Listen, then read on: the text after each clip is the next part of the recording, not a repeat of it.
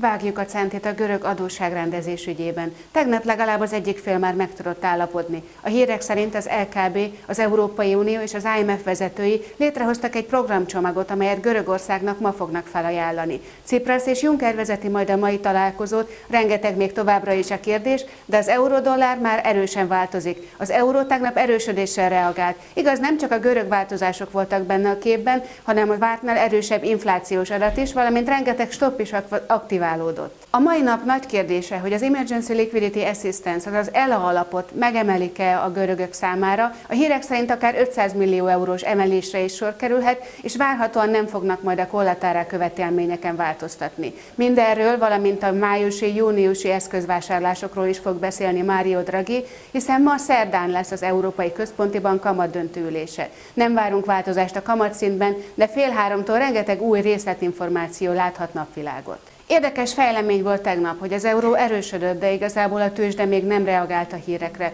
Ugyanakkor a német 10 éves hozam 2012. augusztus óta nem ugrott akkorát, mint a tegnapi napon. Mind a tengeren túli, mind az európai hozamok ismét emelkedésnek indultak.